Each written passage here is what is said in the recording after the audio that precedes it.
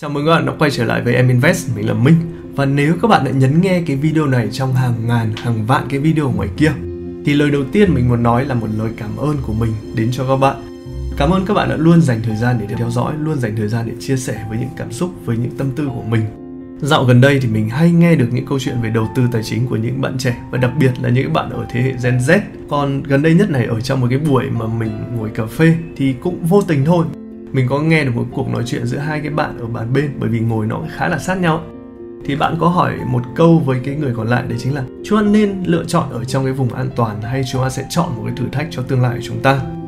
Và mình khi mà nghe đến câu hỏi đấy thì mình lúc đầu mình tưởng chừng như nó là một câu hỏi bình thường. Nhưng suy nghĩ kỹ thì mình thấy được rằng nó không phải là một câu hỏi nó không hề bình thường một chút nào. Có rất nhiều người họ chọn làm một công việc bình thường sau khi tốt nghiệp cấp 3, sau khi tốt nghiệp đại học sống một cuộc đời bình thường với mức lương đủ sống. Với họ, tất cả những cái điều họ cần chỉ là một cái sự ổn định, một cái sự an toàn là đủ. Nhưng có những người lại không bằng lòng với cái cuộc sống mà mang hai chữ là bình thường đấy. Họ cảm thấy là cuộc sống đấy nó không có mục tiêu, không có định hướng, không giàu được, không tự do và không hạnh phúc. Và rồi họ chọn một cách đấy chính là thay đổi, đi tìm một cái con đường mới, giải thoát ra khỏi cái vùng an toàn đó mà đầu tư tài chính chỉ là một trong những cách để chúng ta thử tìm kiếm cái sự giàu có, sự tự do và cái sự hạnh phúc mà thôi. Hôm nay thì mình muốn kể cho các bạn nghe một câu chuyện mà mình đã đọc được ở trên Facebook. Một cái hành trình mà luôn làm với mình luôn chấp nhận thử thách để tìm kiếm ra được những cái mới tìm kiếm ra được bản thân chúng ta đang muốn cái gì và đang hướng tới cái gì. Mình sẽ kể câu chuyện cho các bạn như sau. Cũng giống như bao người sau khi tốt nghiệp đại học tôi bám trụ ở sài gòn và may mắn tìm được một việc làm trong mảng R&D trong một công ty nước ngoài. Công việc khá là tốt, lương đủ sống, môi trường làm việc thân thiện, đồng nghiệp hòa thuận và nếu nói đúng ra thì đây là ước mơ của bao nhiêu người khi ra trường. Nhưng riêng đối với tôi thì tôi lại cảm thấy trống rỗng và lạc lõng. Tôi cảm thấy bản thân của mình không có mục tiêu, không có ước mơ và nếu cứ tiếp tục với cuộc sống nhàm chán với cái mức lương đủ để sinh hoạt thì tôi sẽ mãi mãi phải vất vả, mãi mãi phải lăn lộn và tôi không chấp nhận cái điều đó. Những cái khoảng thời gian mà không đi làm thì tôi đã thử rất nhiều những công việc khác nhau như là bán trái cây hội trợ tour guide trong thành phố mở mối câu lạc bộ anh văn tham gia bất động sản. Nhưng tất cả đều không có kết quả gì. Vào đầu năm 2019 thì tôi bắt đầu bén duyên với Trey thông qua khóa học của một cái uh, diễn giả và một cái tổ chức lớn. Và đây là một cái diễn giả đến từ nước ngoài, từ Ấn Độ. Phải nói là tôi thích Trey ngay từ cái nhìn đầu tiên và tôi bắt đầu hành trình đi tìm người thầy cho chính bản thân của mình để biết cách làm sao kiếm được lợi nhuận từ thị trường, làm sao để biết được điểm vào lệnh, điểm bán, điểm chốt lời. Vì ấn tượng của tôi với cái khóa học, tôi đã đi theo học người thầy đến từ nước ngoài đó và tôi nhớ là cái lớp level 2 của thầy khoảng là 100 đô la Mỹ cho hai người trong vòng 2 ngày. Và đúng là khóa học này đã cho tôi những kiến thức cơ bản nhất về tài chính, từ cái khái niệm cho đến những cái kiến thức liên quan nhưng nó cũng nhồi cho tôi một cái mộng tưởng là kiếm tiền rất rất là dễ, kiếm tiền nhanh và nhiều chỉ cần mở tài khoản nạp tiền vào sàn theo tín hiệu thầy đưa ra vì tổng đầu tư để trở thành trader giỏi phải mất hơn 6.000 đô la Mỹ nên tôi không tiếp tục. Tôi lựa chọn con đường dài hơn vì không có kinh phí. Cũng may là không có tiền. Còn nếu không thì tôi đã trở thành những con gà ông thầy này đã lùa vào sàn để ôm lệnh.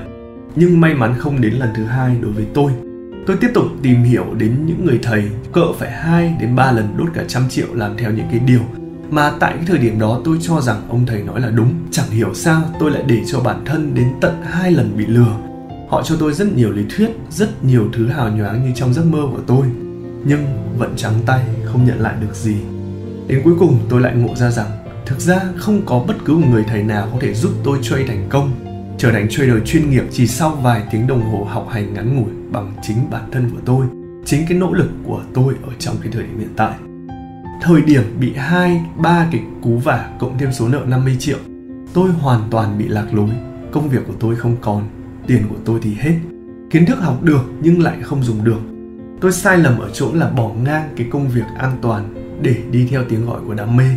Tôi thậm chí còn đưa ra cho bản thân mình hai sự lựa chọn, một là thành công, hai là mất trắng tôi quyết định mạo hiểm thêm lần nữa để vay thêm một khoản từ gia đình, dựa vào người thầy trong chính mình để tìm ra chân lý. Tôi loại bỏ hết tất cả những kiến thức đã từng học trước kia, bắt đầu tự bản thân nghiên cứu để tìm ra lời giải cho những câu hỏi. Bản chất cốt lõi của thị trường nằm ở đâu? Theo đuổi miệt mài một thời gian dài, may mắn trời thương cũng chịu để em thị trường ngả vào lòng tôi. Và tôi nhận ra được rằng thực sự cái bản chất của thị trường chỉ là những cái điều cơ bản và tôi rút ra được một cái bài học, đấy là để có liên tiếp những cái lệnh thắng lớn, thì năm bài toán dưới đây phải có lời giải. Tối ưu cái điểm stop loss, tối ưu lợi nhuận, tối ưu cơ hội vào lệnh an toàn và tự do thời gian.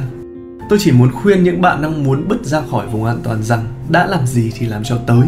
Ai cũng có thể trở nên giàu hoặc là rất giàu. Và khi mà mình đọc xong đôi lời tâm sự của bạn ý, thì mình thấy có một cảm giác đấy là ngưỡng mộ bạn ấy đã phải trải qua rất nhiều thăng trầm, rất nhiều khó khăn mới có thể đúc rút ra được từng ấy kinh nghiệm. Bạn ấy là một trong ít cái trường hợp đã dám bước ra khỏi vùng an toàn và đã có những cái kết quả.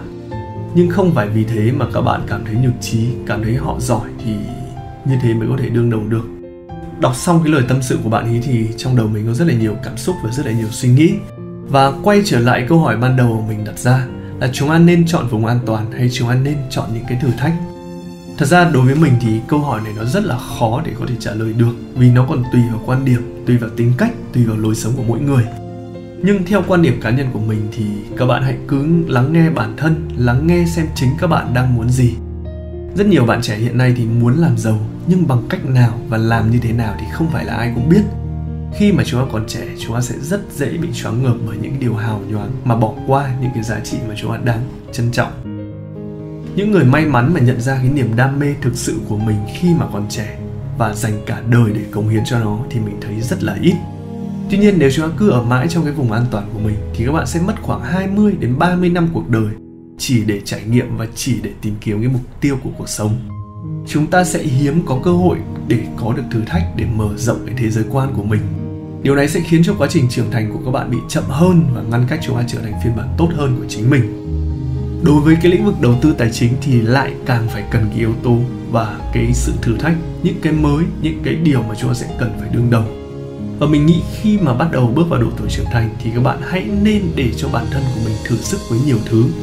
Để sau này khi có sóng gió hay là đơn giản khi các bạn bước chân vào thị trường tài chính sâu hơn các bạn đã có trong mình tâm thế đã có kinh nghiệm đã có cái góc nhìn để có thể đón nhận nó một cách chủ động không bị ở trong cái trạng thái mà bị thị trường nó vả cho bạn rất nhiều những cú tát rất là đau. Mà chúng ta không biết là phải làm gì. Và các bạn nên nhớ, vùng an toàn là nơi chúng ta cảm thấy yên tâm và yên ổn bởi cái sự ổn định của những thứ đã có. Nhưng một khi đã bước ra khỏi cái vòng an toàn đấy, thì chúng ta mới có cơ hội để khám phá những cái tiềm năng ẩn sâu trong mình. Và từ đó tìm kiếm niềm vui và sự viên mãn trong cuộc sống. Và một lần nữa thì trước khi kết thúc cái podcast này, có một cái điều mình muốn nhắn với các bạn thị trường tài chính một thị trường rất là rủi ro và rất rất là mạo hiểm và cái khả năng các bạn mất toàn bộ số tiền các bạn đầu tư là có và nên chuẩn bị cho mình kiến thức và nên chuẩn bị cho mình kinh nghiệm trước khi chúng ta làm bất cứ cái điều gì trong thị trường tài chính này. Và một lần nữa, cảm ơn các bạn đã luôn dành thời gian để lắng nghe đến cuối cái tập video podcast này. Và xin chào và hẹn gặp lại các bạn ở trong những cái tập lần sau.